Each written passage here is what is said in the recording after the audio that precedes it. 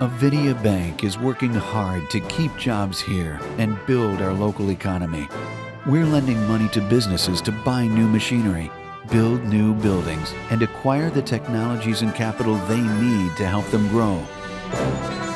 Businesses like Aubrey Auto Machine and Engineering in Marlboro. I'm Scott Riley. When Aubrey calls, I answer the phone. Call me at Avidia Bank and let's talk.